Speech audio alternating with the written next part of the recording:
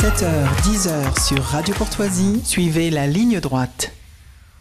La fin de vie arrive en hémicycle après un mois de discussion en commission spéciale. Les députés se pencheront lundi sur cette réforme portée par l'ancienne ministre de la Santé, Agnès Firmin-Lebaudot, aujourd'hui députée Horizon.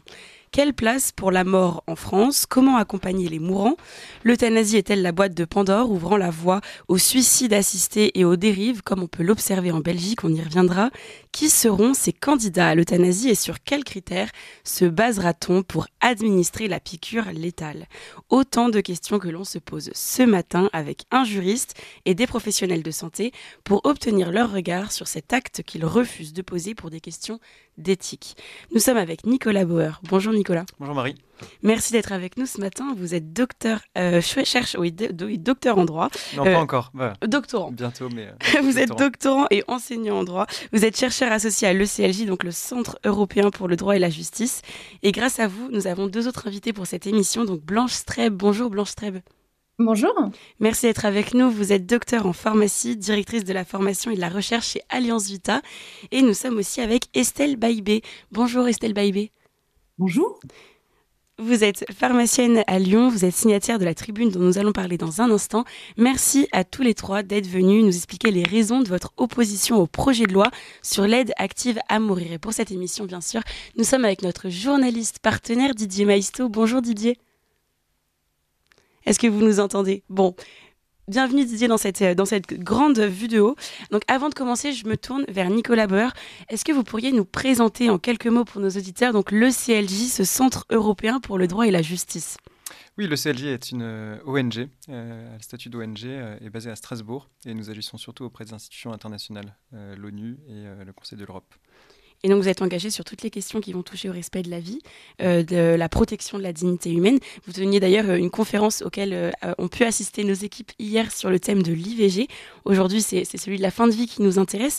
Donc, nous allons en parler. Nicolas Bauer, vous êtes à l'origine avec le CLJ d'une tribune publiée au Figaro il y a dix jours et intitulée Fin de vie. Le projet de loi menace la liberté de conscience des pharmaciens, qui a rassemblé donc beaucoup d'inquiets, une trentaine de pharmaciens, deux professeurs en faculté de pharmacie, ainsi qu'une trentaine de juristes l'ont co-signé. Comment est né euh, ce travail collectif? Est-ce que d'abord c'est ce personnel soignant qui vous a alerté sur ces menaces? Euh, oui, bah pour, euh, pour alerter notamment sur, sur deux injustices. la première, c'est celle de l'aide active à mourir, qui met le pharmacien au cœur du dispositif, qui va donc préparer la substance létale et ensuite la délivrer. Euh, donc c'est un pharmacien hospitalier qui va préparer la substance létale, puis des pharmacies d'officine qui, vont la, qui vont la délivrer. Euh, et donc du jour au lendemain, on va demander à des, personnes qui sont des professionnels du, médicament, euh, qui sont, dont le métier est de, soigner, de protéger la vie, de fabriquer des poisons. donc ça, c'est une première, première grosse injustice qui concerne plus largement tous les, tous les professionnels de santé et toute la société. Et la deuxième injustice qui est spécifique aux pharmaciens, c'est que c'est la seule profession de santé euh, pour laquelle le gouvernement ne prévoit aucune objection de conscience. Euh, donc ils sont mis au cœur du dispositif euh, et on va les, les, obliger à faire cet acte. pour le moment, si donc Estelle, donc, qui est avec nous, fabrique ce type de substance, elle, elle, serait poursuivie et elle risque 30 ans d'emprisonnement. Et du jour au lendemain, on voudrait l'obliger à le faire, donc comme tous les pharmaciens, euh, et s'ils ne le font pas, ils risquent des sanctions disciplinaires et des députés ont même voulu aller plus loin en déposant des amendements pour que euh, ce soit des sanctions euh, pénales. et donc par ce, par ce choix, le gouvernement fait de la, ferait de la France vraiment une, exception, puisque tous les pays qui sont les plus, les plus extrêmes sur l'euthanasie ou le suicide assisté, la Belgique, les Pays-Bas, le Luxembourg, mm. le Canada, tous ces pays-là n'obligent pas les pharmaciens à y participer. Euh, prévoit que ce soit seulement les volontaires qui, euh, y participent. Euh, et donc en, faisant cela, le gouvernement en fait s'aligne sur, sur le projet qui était celui de l'association pour le droit à mourir dans la dignité, le gros lobby pro-euthanasie, Euh, et donc, donc voilà, cette tribune réagit à cette, à cette injustice. Ah, c'est intéressant effectivement d'apprendre que dans les autres pays, ça se fait sur la base du volontariat.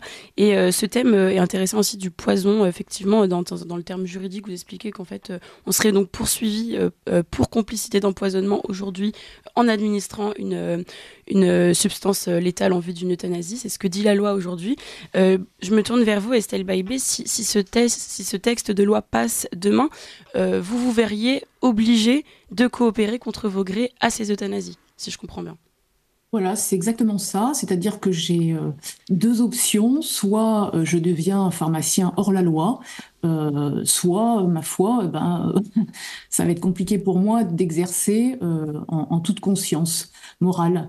donc moi, je suis profondément choquée par ce projet de loi qui méprise les pharmaciens en les traitant comme de simples exécutants dépourvus de conscience professionnelle et morale. Mmh. J'aimerais quand même rappeler aux auteurs de ce projet de loi que le pharmacien est un professionnel de santé qui a fait six années d'études supérieures, qui est titulaire d'un doctorat en pharmacie. Nous ne sommes pas des distributeurs automatiques de médicaments. En tant que professionnel de santé, de la même façon que les médecins, nous prêtons serment à la fin de nos études. Et dans ce serment de Galien, nous jurons notamment, je cite, d'exercer dans l'intérêt de la santé publique notre profession avec conscience, de ne jamais oublier notre responsabilité et nos devoirs envers la personne humaine et sa dignité, et en aucun cas ne consentir à utiliser nos connaissances et notre État pour corrompre les mœurs et favoriser des actes criminels. Ce projet de loi, ne prévoit aucune conscience pour le pharmacien, au motif qu'il ne serait pas concerné directement par l'acte de donner la mort. C'est une véritable aberration juridique en termes de responsabilité pénale. Je vous donne un exemple. Un pharmacien, un médecin, pardon, un médecin commet une erreur de prescription médicale, une erreur de dosage, par exemple.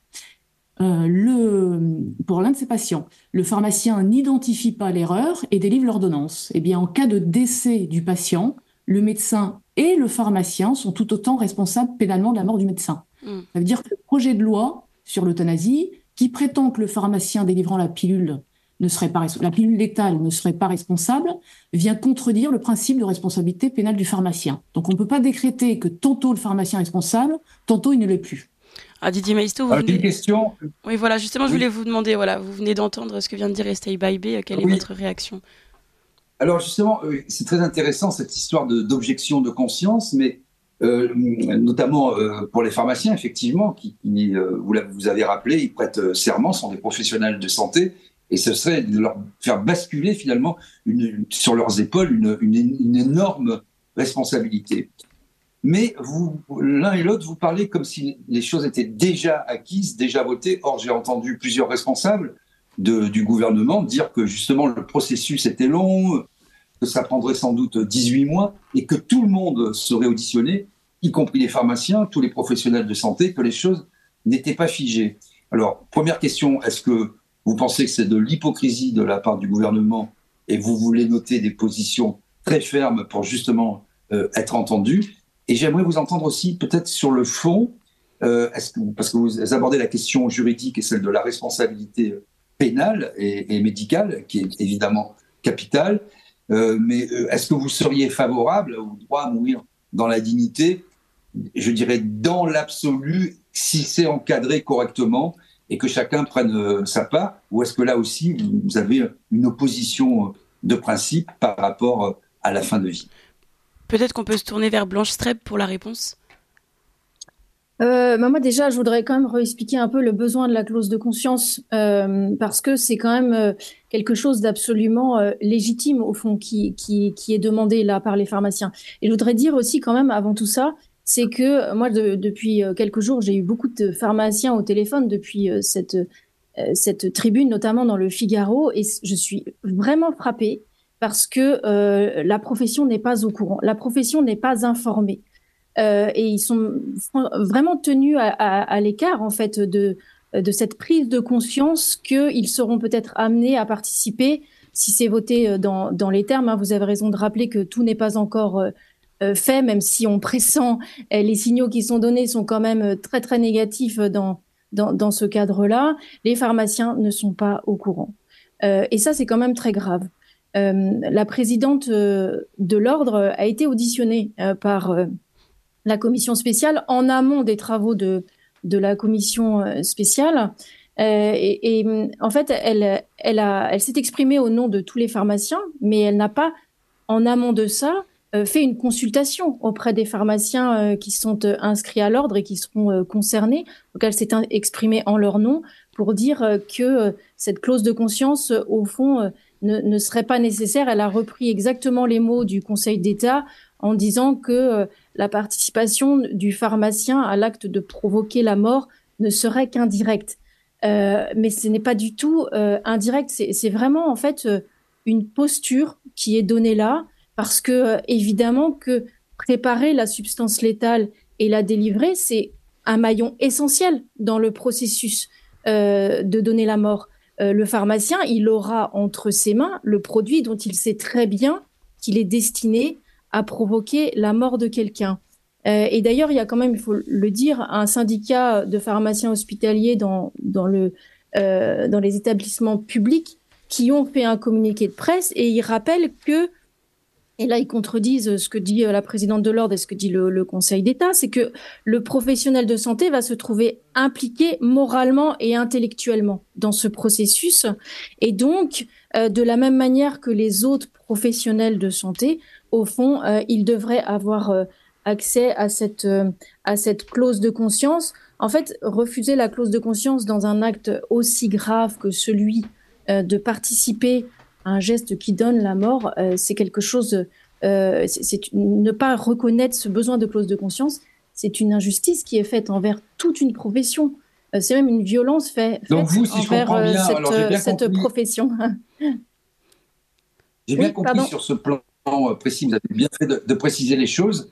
Et d'un point de vue, je dirais plus, là on est plus dans le relatif par rapport à ce projet de loi, mais dans l'absolu, euh, finalement, vous dites aussi, euh, vous n'avez pas de position établie, mais vous dites, il faut qu'on ait la possibilité d'actionner notre, notre objection de conscience. Il y a certains à qui ça ne posera pas de problème, d'autres à qui ça posera un problème. On n'a pas de position euh, figée sur le fond, mais chacun, chaque praticien, chaque pharmacien, chaque personnel de santé doit pouvoir en son âme et conscience décider s'il peut ou non, s'il doit administrer la mort. En fait, ce qui est important de comprendre, c'est que le gouvernement, le Conseil d'État et ce projet de loi et la ministre de la Santé reconnaissent que euh, cette clause de conscience est nécessaire pour les professionnels de santé. Donc en reconnaissant que cette clause de conscience est nécessaire pour les professionnels de santé, on reconnaît là qu'on est face à un acte qui qui pose un grave problème moral. Donc ça, il faut bien le comprendre. À partir du moment où on est face à un problème moral, il peut être légitime d'y objecter, quelle que soit la participation qu'on ait dans l'acte de donner la mort. Et encore une fois, c'est un acte qui est direct. On n'est pas en train de parler euh, de la personne qui va refaire la peinture dans la salle de l'euthanasie. On est vraiment en train de parler d'une personne qui va participer de manière directe euh, à produire la substance létale et à la délivrer. Donc, euh, on est dans, dans, vraiment une participation directe. Donc, reconnaître cette clause de conscience c'est une question de justice en fait, tout simplement. C'est même pas une question d'opinion, c'est une question de justice. Et je voulais rebondir sur ces opinions justement parce qu'il y a un sondage du journal La Croix qui donne d'un côté à 75% les Français favorables à l'euthanasie et en parallèle 97% des malades et 85% des soignants mobilisés dans les unités de soins palliatifs en l'occurrence défavorables à euh, ces euthanasies. Est-ce que euh, vous constatez vous aussi dans, votre monde professionnel ce, ce paradoxe en fait, euh, comme, euh, comme quoi les bien portants et ceux qui ne sont pas directement concernés seraient plus favorables, alors que ceux qui sont directement acteurs du terrain, eux, en sont défavorables. Est-ce que ça, c'est un constat que vous faites aussi? Ben, En fait, il y a une évidence absolue, et c'est ce que je disais tout à l'heure en constatant que les pharmaciens ne sont pas du tout au courant de ce qui se passe. Euh, c'est vrai pour l'ensemble des Français. On, leur, on, les, on les biberonne en fait avec des mots comme aide à mourir, donc ce, cet euphémisme choisi pour camoufler l'euthanasie et le suicide assisté. Mais au fond, les Français ne sont pas du tout informés sur ce qui est en train de se tramer dans ce projet de loi. Euh, si chaque Français avait accès, en fait, euh, si on prenait le temps de leur expliquer euh, en particulier toutes les dispositions graves qui ont été réintroduites pour aggraver le texte, on ne serait pas du tout sur ces résultats-là. On, on, on, est toujours en train de poser cette question préférez-vous presque, je caricature, hein, mais mourir dans la souffrance et agoniser pendant des jours et des jours, ou qu'on mette fin à ça? En fait, les sondages sont toujours extrêmement réducteurs aussi. donc, il faut bien comprendre qu'il y a un problème d'information et d'accès vraiment aux, conditions qui sont en train de, se, prévoir dans ce, projet de loi. Euh, la, vérité n'est pas dite, à commencer par euh, la, vérité de parler d'euthanasie et de suicide assisté. Alors je vais, je vais reprendre la question voilà, de Didier Maisto. Vous parliez de l'aspect moral. Est-ce que vous voulez rester sur ce sujet ou vous vouliez rebondir sur autre je chose? En fait, ce que, je voudrais, pour éclairer un peu nos, auditeurs, est-ce que vous considérez les uns les autres qu'il faut absolument de toute façon légiférer pour sortir de l'hypocrisie? Parce qu'il y a des, gens qui vont dans d'autres pays ou, des professionnels de santé qui se mettent en la loi pour euh, abréger les souffrances Ou est-ce que la loi Leonetti va euh, euh, assez loin, qu'il ne faut rien, surtout plus rien changer? Quelle est votre position sur le sujet? En fait, la loi Leonetti, euh, Leonetti, elle est suffisante. Ce qui est insuffisant aujourd'hui, c'est, et ça c'est aussi une grande injustice, c'est l'accès de tous les Français aux, soins palliatifs. C'est ça la vraie urgence. Euh, c'est de ça presque uniquement qu'on devrait parler, parce qu'on le sait très bien, et c'est pour ça que les professionnels de santé qui connaissent le sujet sont opposés euh, à ce projet de loi. Euh, on sait très bien que quand les personnes sont bien accompagnées et soulagées, il n'y a pas de demande de mort. Donc ça, ça devrait être la première priorité. Et, et, légiférer sur l'euthanasie et le suicide assisté dans, dans une situation où le, le, le, le, système hospitalier est en souffrance, on le sait très bien, euh, c'est une très grave injustice. Et les premiers qui vont être finalement euh, euh, exclus, poussés peut-être vers ces demandes de mort, ce seront les personnes eh bien, les, les, plus fragiles. Et, ça, c'est notre très grande inquiétude. Et là-dessus, Donc vous vous dites en fait, en fait, pour qu'on comprenne bien, parce que là, je pense qu'on est au cœur du sujet, que l'hôpital et la santé sont dans un tel état mais c'est pas propre à M. Macron, même si ça a été accéléré. Euh, disons que depuis 20 ans, déjà, il y a 120 000 lits, il hein, faut, sans cesse le rappeler, qui ont disparu. Hein. C'est énorme, c'est énorme. Euh, une médecine euh, ambulatoire de plus en plus. Il faut, on se fait opérer dans la journée, il faut rentrer chez soi.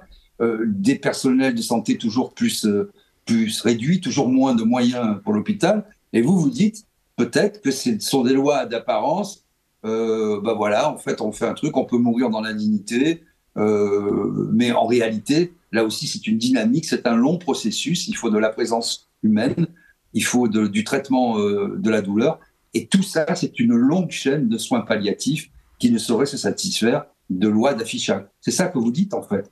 Mmh. Exactement. Alors là-dessus, justement, Nicolas Bauer, sur cette euh, nécessité ou non de légiférer à nouveau, est-ce que la dernière loi est suffisante?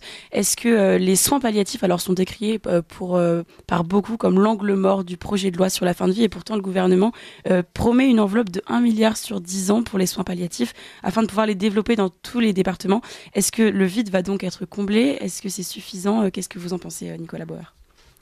Alors effectivement, pour, euh, pour répondre à, votre question et à la question de Didier Maisto, euh, si, si on a fait cette tribune et si les pharmaciens ont, soutenu cette tribune, je pense effectivement que ce n'est pas seulement pour demander une liberté de conscience en matière de fin de vie, mais aussi pour rappeler la, gravité de l'acte qu'ils réprouvent, auquel ils n'ont pas envie de, participer.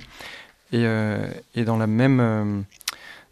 bon, d'abord, effectivement, ce n'est pas du tout voté euh, comme vous le disiez, vous avez bien fait de le rappeler, il y a des amendements de plusieurs groupes politiques euh, pour euh, instaurer une clause de conscience dans ce projet de loi, y compris un amendement qui vient de, de l'extrême gauche. Donc c'est quand même intéressant qu'il y ait un député d'extrême gauche qui, qui veut aussi que les pharmaciens aient une clause de conscience par souci de justice. Donc c'est pas du tout définitif. Et, sur le fond, en effet, effectivement, l'aide à mourir je fais partie des, personnes qui s'y euh, opposent. Euh, parce qu'elle ça remet en cause l'interdit de tuer qui est au fondement de, toute société, je pense, sur le plan euh, philosophique et politique. et puisqu'il y a aussi, comme le disait Blanche, un risque pour les personnes vulnérables, fragiles, un risque qu'on appelle en fait l'eugénisme, alors qui n'est pas, un, pas un eugénisme tel qu'on l'a connu historiquement, totalitaire, mais un eugénisme beaucoup plus libéral en fait, qui est une somme de décisions individuelles avec le consentement des personnes qui mènent en fait au même résultat, qui est que donc certaines personnes bien portantes continuent de, vivre. n'ont évidemment pas le droit à, l'euthanasie ou, ou, suicide assisté. Et pour seulement une catégorie de, personnes, les personnes les plus souffrantes qui auraient le besoin de plus de, soins, on leur donne cette, cette option. Euh, et cette option ne peut pas vraiment coexister en fait avec euh, un système de santé qui soigne et qui protège la vie, euh, puisque là actuellement on a les soins palliatifs, qui est un système qui marche très bien et qui, demande simplement beaucoup plus de moyens. et on aurait, avec ce projet de loi, la coexistence de, des soins palliatifs et de l'aide à mourir dans les mêmes structures, donc ces maisons d'accompagnement, par les mêmes professionnels de santé. Et, ces deux choses ne peuvent pas coexister. On le voit bien en, en, Belgique. Euh, Emmanuel Macron s'était dit euh, vouloir s'inspirer du, modèle belge il y a deux ans. Euh, et en Belgique, l'euthanasie a, a, toujours été élargie. Mm. et aujourd'hui, lorsqu'on demande aux Belges, comme ça a été fait dans un sondage, faut-il arrêter les soins pour les personnes de plus de 85 ans Et ben, il y a seulement 30% des, des, Belges qui disent non. dans un sondage d'un grand institut tout à fait représentatif de l'ensemble de la Belgique. Et donc, quand vous, avez des. Juste, avant, juste avant le flash, parce qu'on va nous, nous On a une petite hein, minute seulement, c'est ça. Voilà, une petite minute. Ce qui est intéressant, je trouve, qui ressort et qu'on n'avait pas forcément vu euh, euh, d'emblée, c'est la réflexion plus large que vous menez sur l'ensemble de la société. Vous parlez effectivement d'eugénisme, vous parlez, vous n'en parlez pas, mais on sent poindre peut-être cette, cette, marchandisation des corps, cette banalisation dans le fait de donner la mort. Vous dites, euh, on est euh, dans toute société euh, normalement constituée, il y a un interdit absolu qui est celui de d'être un nouveau démurge finalement et de d'octroyer, d'administrer la mort. On pourrait aussi parler peut-être de la GPA, du transhumanisme. Est-ce que vous avez l'impression que au-delà de tout ça, de ces beaux affichages pour éviter que les gens souffrent, on est dans la banalisation de la vie humaine, dans la marchandisation des corps et dans le fait que tout ça, dans une société moderne et progressiste, eh ben, écoutez, euh, tout a un prix, tout a un coût, tout est possible et il faut le oui, faire. tout à fait. Alors d'une manière, euh, de Nicolas Bauer sera juste après le flash d'actualité. Je suis désolé. Hein. C'est vraiment ligne droite.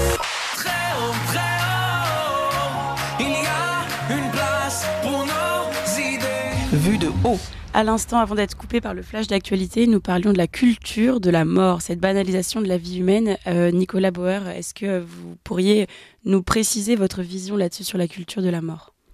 Didier Maisto, vous disiez que justement cette, ce projet de loi fin de vie s'inscrivait dans un esprit beaucoup plus général. Et effectivement, je suis d'accord. Et euh, ce qu'on ce qu'on peut observer, c'est la multiplication des actes qu'on demande aux professionnels de santé, au système de santé, qui ne relèvent pas de la santé. Donc d'abord, effectivement, avec euh, euh, l'avortement, bien sûr, euh, qui, est qui correspond plus à un, choix de vie qu'on approuve ou non, mais qui, qui, ne relève pas de la santé. la question aussi des opérations de, changement de sexe, de la même manière, qui ne sont pas là pour, pour soigner, mais qui sont un, projet de société plus global et qu'on demande aussi aux professionnels de santé.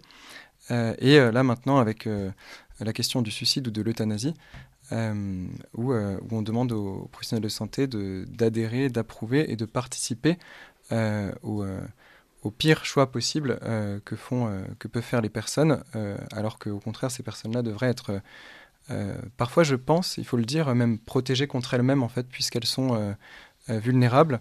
et que quand quelqu'un a envie de se suicider, il faut au contraire pouvoir lui donner des raisons de vivre et lui donner une, un cadre, une structure, un entourage euh, qui lui permettent euh, d'aimer la vie. Tout à l'heure, euh, Estelle Baïbé, je vais. Ah non, vous vouliez juste réagir, Blanche Treb, avant la prochaine. Oui, oui, pardon, si vous permettez, je veux bien aussi ajouter pour mm. répondre à, à Mieux ce Maïsto, parce que c'est une question intéressante. Moi, il y a quelque chose qui m'a beaucoup frappé dans les débats, et pour revenir à la question de, en particulier des pharmaciens, c'est que, vous voyez, on, certains considèrent, ça a été dit, que le pharmacien n'aurait pas de clause de conscience parce qu'il n'est pas en contact direct avec le patient. Ça a été dit euh, par euh, la présidente de l'ordre. Et il est intéressant de savoir qu'il y a un amendement qui a été rajouté dans, euh, dans le projet de loi, un amendement par l'une des rapporteurs, qui a expliqué qu'il y a un problème, c'est que parfois le pharmacien, il entretient une relation privilégiée avec les patients. Et ça, ça se voit bien sûr dans le, dans le monde rural, dans les petites villes, les pharmaciens connaissent les familles, connaissent les patients. Donc on a ajouté à ce texte un amendement euh, qui va permettre aux, à la, de santé qui administrera le produit de choisir euh, dans quelle pharmacie d'officine le produit va être délivré, pour pouvoir choisir par exemple une autre ville. Et ça, c'est précisé dans, dans l'exposé des motifs au cas où euh, eh bien, euh, le, le, patient souhaite garder ses, ses, choix de fin de vie confidentiels. Donc en fait, derrière ça, c'est quoi l'idée? C'est que euh, ce serait peut-être moins difficile euh, de participer à, à, à, ce geste qui a quand même pour intention de donner la mort quand on ne connaît pas la personne. Donc il y a l'idée en fait quelque part de d'effilocher, de noyer les liens humains. Euh, et ça, je crois que c'est très intéressant, peut-être philosophiquement, de penser à cette question euh, que euh, la banalité du mal finalement s'installe aussi mieux quand on connaît moins les personnes. Mais c'est vraiment un, con un, concept qui, euh, qui peut faire peur, qui fait vraiment qui, questionne sur euh, ce qu'est au fond un, un être humain. C'était la question que vous posiez un peu. Euh, Est-ce que quand on voit une personne qui se noie, on va tendre la main que si on connaît la personne? Bien sûr que non. Il y a quelque chose de profondément humain que d'être justement dans une vraie fraternité qui nous permet de prendre soin de l'autre, même si on ne le connaît pas. Et voilà, et cette question de considérer que le pharmacien n'est pas en lien direct avec le patient et donc c'est pas grave, je trouve que ça, c'est profondément grave. Alors... Justement, que vous déplorez que la bioéthique, parce qu'il y avait eu des débats, on se rappelle au début, euh, fin des années 90, début des années 2000, notamment avec euh, Jean-François Mattei, je me souviens euh, très bien, bon, on a retenu que la canicule, mais il y avait aussi des choses positives. Est-ce que finalement, il y a trop de perméabilité des professions de santé à des questions sociales et surtout sociétales?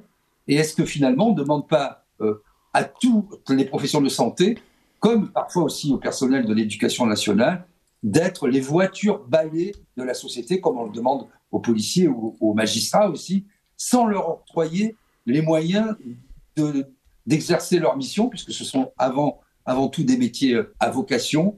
Euh, Est-ce qu'ils doivent être à l'écart des questions sociétales en réaffirmant des principes très forts?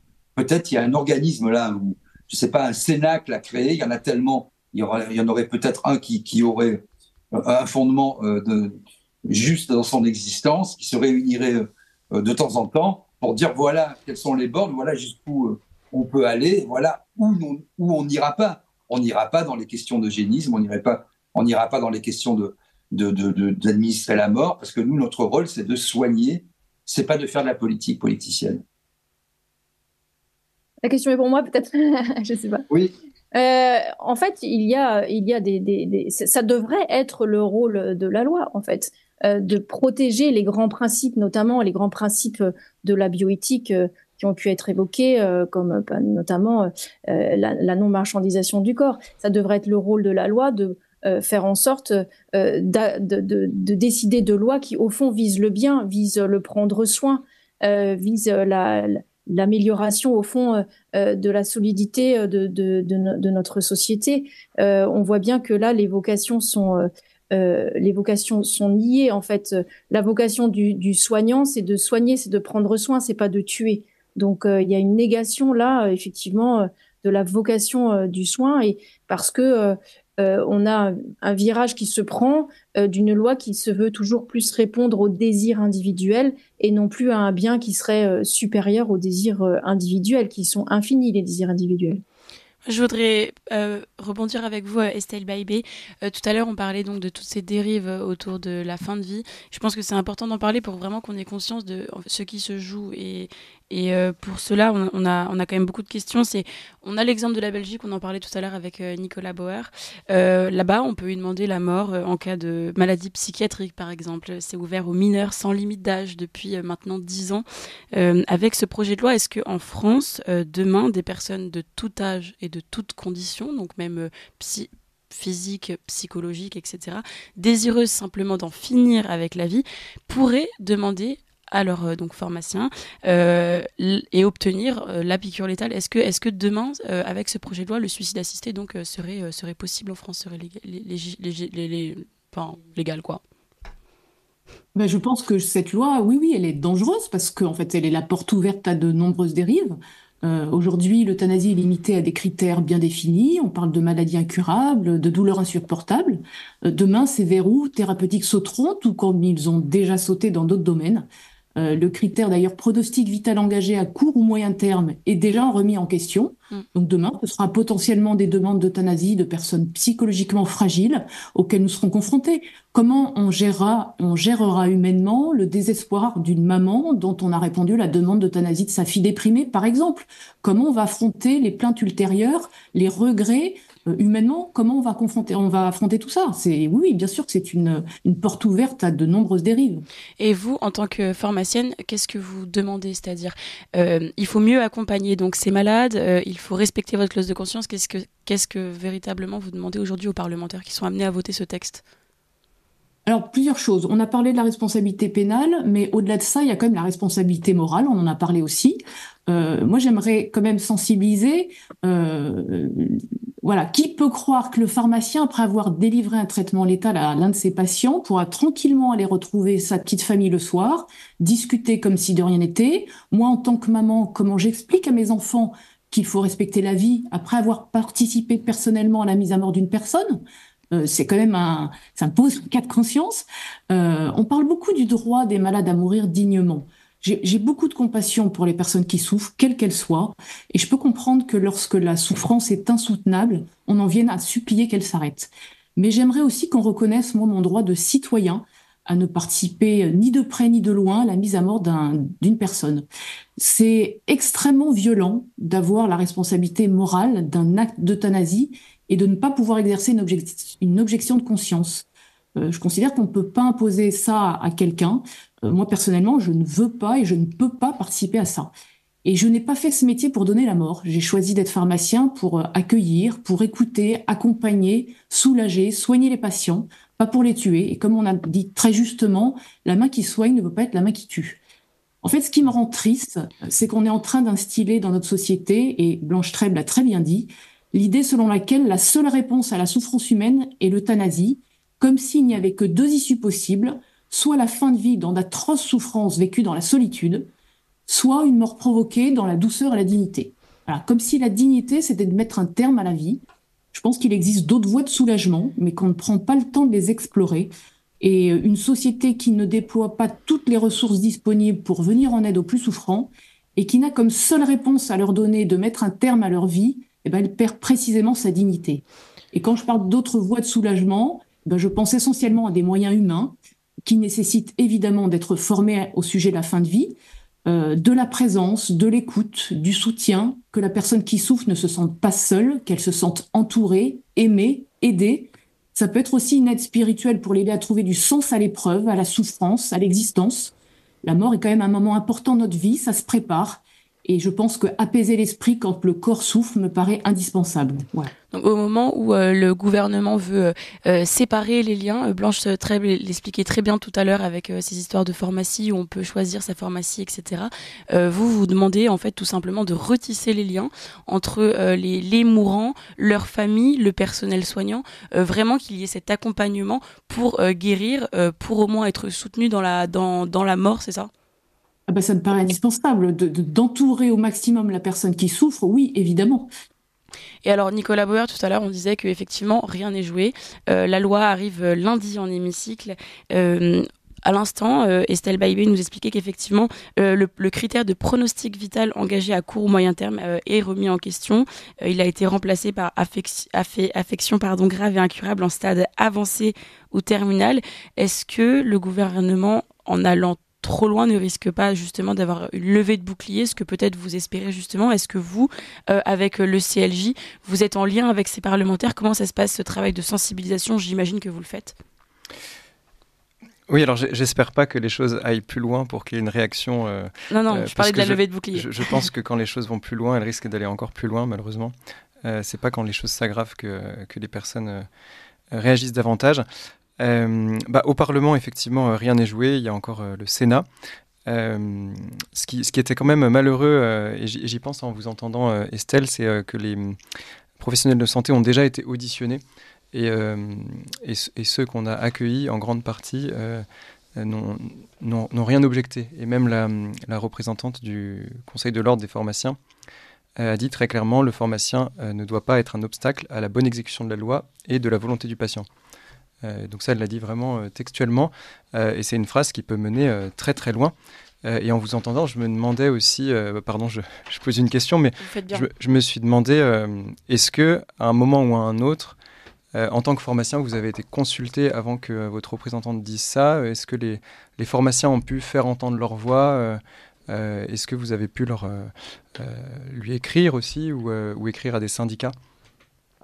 Alors moi j'ai alors été contacté non, c'est hmm. plutôt moi qui ai contacté mon syndicat et lui ai demandé quelles étaient les actions prévues concernant ce projet de loi qui ne permettait pas aux pharmaciens euh, d'exercer une objection de conscience. Euh, donc voilà, c'est plutôt dans ce sens-là, c'est aidez-nous, faites quelque chose. Et, euh, donc j'appelle d'ailleurs, je profite de votre de votre question pour appeler les pharmaciens à se mobiliser, à défendre et à réclamer cette objection de conscience dans ce cadre de, de, projet de loi qui est extrêmement, enfin qui, est une menace. Donc que, que peuvent, oui, Blanche Trèbe oui, moi je, je, suis tout à fait d'accord avec ça. Je vous le disais, j'ai eu beaucoup de pharmaciens au téléphone qui n'étaient pas au courant et qui euh, du coup, euh, euh, eh bien, on, on, dit qu'ils allaient effectivement euh, questionner l'ordre ou voilà parce qu'ils n'ont pas été consultés. C'est quand même grave de s'exprimer au nom de 75 000 personnes sans leur avoir demandé leur avis. Il faut se rappeler aussi qu'en 2015, il y avait eu une consultation pour faire évoluer le code de déontologie et 75, 85 personnes, 85% des pharmaciens qui avaient répondu avaient demandé euh, qu'il y ait une clause de conscience au cas où une loi euh, de ce type-là euh, arriverait. Donc c'est quand même important. Et si je me je peux me permettre d'appeler aussi moi de mon côté avec Alliance Vita, nous avons nous aurons des mobilisations le jour de l'arrivée en séance plénière le, le 27 mai en, en, fin de journée dans plusieurs villes de France. voilà donc pour nous mobiliser contre cette loi injuste et dangereuse pour notre société. Bah, merci à tous pour cette euh, grande émission sur la fin de vie. Merci Didier, euh, notre journaliste partenaire du jour, de, m'avoir accompagné pour cette émission. Merci Estelle Baïbé. Je rappelle que vous êtes évidemment pharmacienne. Vous êtes pharmacienne à Lyon et vous avez signé cette tribune de l'ECLJ. Merci Nicolas Bauer. Vous êtes euh, juriste, chercheur associé à l'ECLJ, ce centre européen pour le droit et la justice. Merci Blanche Streb, docteur en pharmacie et vous êtes engagée chez Alliance Vita. À très bientôt.